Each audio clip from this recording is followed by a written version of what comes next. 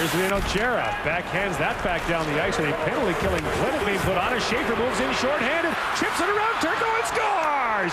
What a goal by Peter Schaefer, shorthanded. Here's the speed we were alluding to. Peter Schaefer, and look at Turco. He's stuck in no man's land. What a creative play by Peter Oh, Schaefer. what oh, a goal by Peter That's Schaefer. Outstanding. That is just a beautiful goal.